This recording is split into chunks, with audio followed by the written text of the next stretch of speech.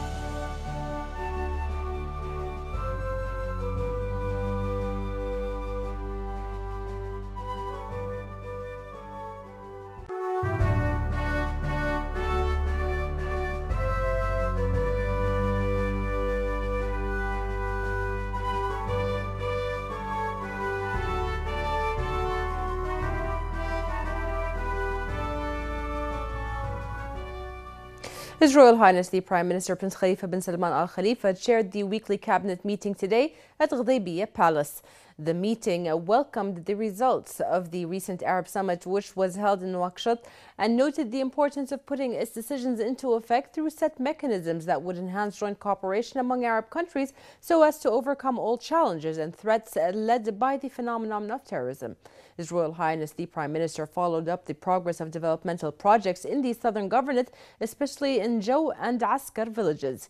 He directed to speed up the completion of planning processes of projects related to housing, municipal, educational, and health services of the residents of Jau, Askar, and Ad-Dur.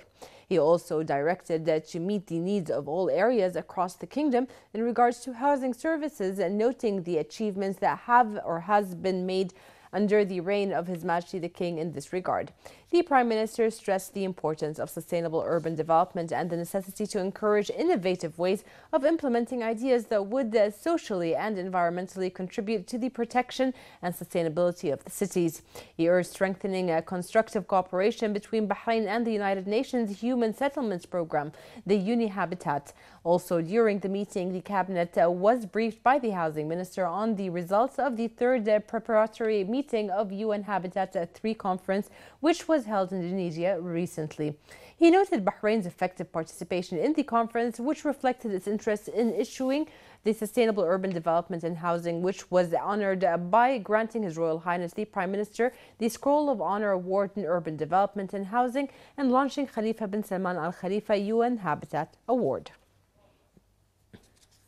After that, the meeting discussed a number of issues listed on its agenda. The cabinet discussed a national plan to solve negative phenomena and issues related to loose labor, during which the Minister of Labor and Social Development briefed the meeting on the themes of the plans and suggested recommendations. The meeting also discussed adopting the new international standards for taxes information exchange, which has been approved by the Global Forum on Transparency and Exchange of Information for Tax Purposes. The Cabinet approved adding a pan substance to Law 15 for 2007 regarding drugs and psychotropic substances law and to take all necessary legal procedures in this regard. It also approved a draft law to amend some provisions of social insurance law that allows private sector workers to buy extra years of service. The meeting also reviewed a number of proposals presented by the Council of Representatives.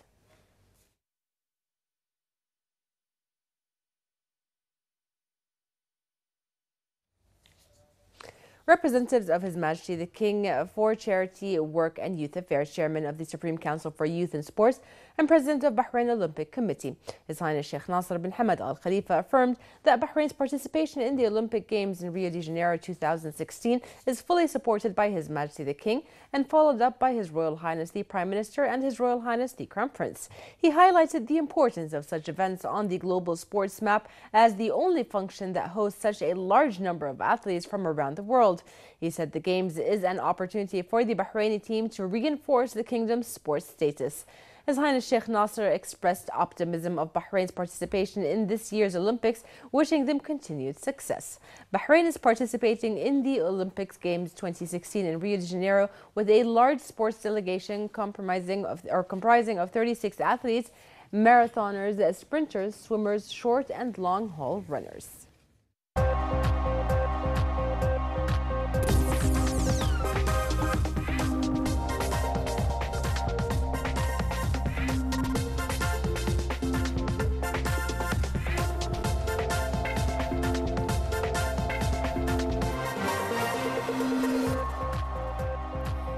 Good evening and welcome to the business news here on Bahrain Television.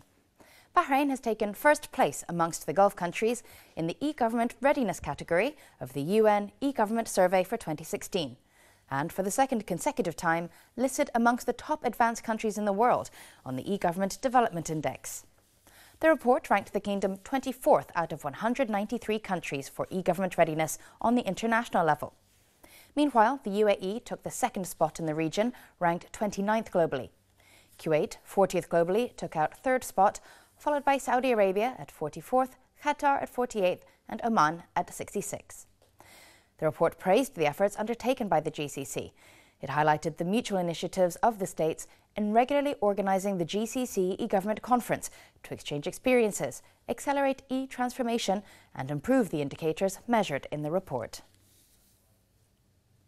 The Bahrain All Shares Index closed today at 1,174.44 points, marking an increase of 7.72 points above yesterday's closing level. The commercial banking, services, and industrial sectors rose, with the commercial banking sector representing the majority 42% of total share value traded. Overall, there were 69 transactions today, comprising 1,129,930 shares worth 407,306 Bahraini dinars.